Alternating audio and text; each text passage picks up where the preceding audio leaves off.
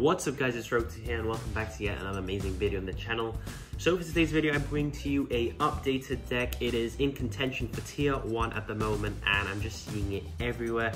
Everyone's locals, it's just topping left, right and center and this is my version of it, my take on it. I believe it is one of the best versions you're going to be seeing out there. There are going to be budget choices in this deck just simply because I haven't got the cards yet and or they haven't arrived. So I'll be explaining those, but without any further ado, let's get straight into this Drytron deck profile. Alright, so starting off this amazing deck profile, we have triple of Drytron Alpha, double of Drytron Zeta, double Gamma, and one Delta. In my opinion, this is the correct ratio to run just simply because you're gonna want to be seeing Benten as often as possible, but there are now alternative ways of searching your ritual spell, hence why I have Zeta at two. And we have double Gamma because he's actually an amazing extender for draw, and the one Delta since we aren't playing Pot of Prosperity in this build because the card simply has not arrived yet. We can afford to play one Delta because we can draw. So this is the Drytron lineup, in my opinion. This is perfect. I would not change a thing. Obviously, when Prosperity does arrive, I will just simply take out the Delta. That is it for the Drytrons. We will now move on to the Fairies. So now we've got the newest addition to the deck. We got triple of the Diviner. This card's absolutely insane. The fact it changes its level to level 6 and allows Beatrice to be made is absolutely incredible. Sends your Herald to the grave, which also fuels your graveyard for Eva. So this card is amazing. People I see this people playing it at 2, in my opinion, that is incorrect. You're going to want to be seeing this card as often as possible in your hand. You see it in your hand, you don't have to search it out, and you can search out something else, like another fairy to fuel your ultimateness. So that is in why, in my opinion, I am playing 3 of the Diviner. For our other fairy here, it's pretty standard, just triple Herald of the Orange Light, the best Herald that there is compared to the green and the purple, just triple of him, negate monster effects, we are also playing triple Lancea. He's also a fairy, so he fuels our Herald of Ultimateness. And he's also insane against Tri Brigade. In my opinion, Tri Brigade with this deck is in contention for best deck of the format.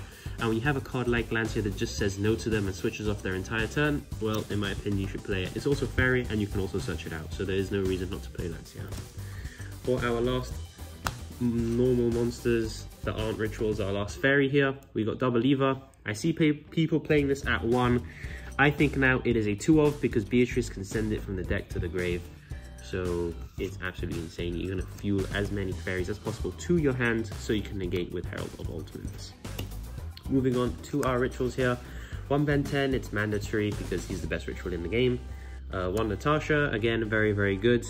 Basically, when you don't need Benten no more, banish him, steal a monster and go for game. One of the Drytron Ritual, I don't see many people playing this card, but this is a out to lots of back row decks, so I don't see why people don't play him. Just takes two Drytrons, blows up all the back row the opponent controls, he's very nice. Uh, we're playing the Megalith package because this is, in my opinion, the best variant of the deck with the Megaliths. Double Phaleg, one Ophiel, um, Phaleg recycles Benten, makes itself level 6. You can overlay it with the Diviner, make Beatrice that way. Ophiel grabs you a Phaleg, which keeps your Drytrons in keeps your Drytrons in circulation for next turn because you'll have a ritual in your hand. So amazing. And for the last ritual is just the Herald of Ultimateness. Just say no to absolutely everything your opponent does. This card says no. It's not unheard of to get 4-5 negates out of this guy. Just absolutely insane. Moving on for our spells here. Uh, triple Cyber Emergency, consistency spell of the deck. Gets you any Drytron. Not much needs to be said. We got Triple Nova, again, Lots of consistency here. Gets you one out the deck for free.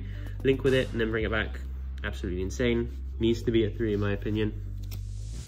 We've got one of the ritual spell. You don't need more than one. It's very, very recursive. You can bring it back from the grave with prep, or you can use its effect to bring it back to your hand. Don't need more than one. Absolutely crazy card.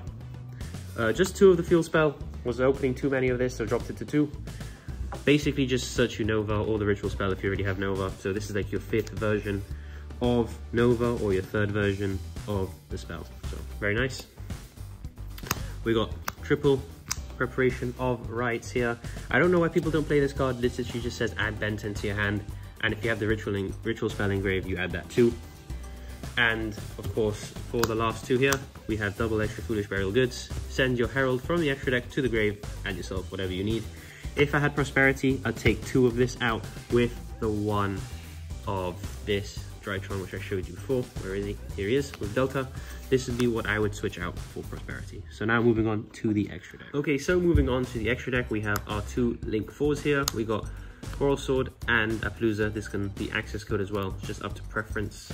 For our Link 3s, we've got one Knightmare Unicorn, very, very cool with IP, allows you to spin a card back during your opponent's turn. For other Link 2s, we've got one Knightmare Phoenix, one Herald of Mirage Lights. I don't see many decks playing this anymore. I still think it's crazy card. And we got one of the new cards from Lightning Overdrive. We got Lyna, the Light Charmer, who's actually crazy because there's always a light in your opponent's grave and you can bring it back and that's an instant unicorn.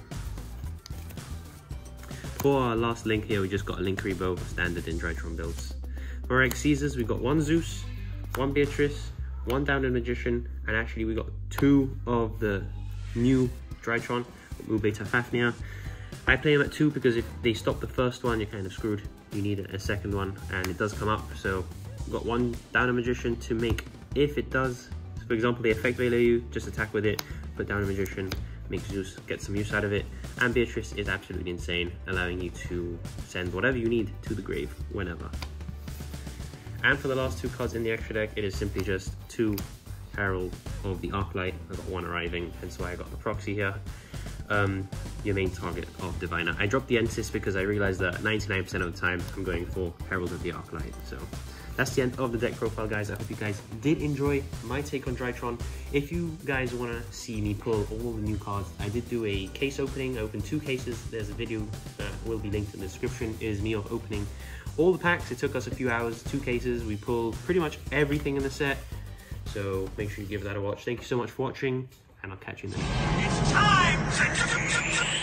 Let's go!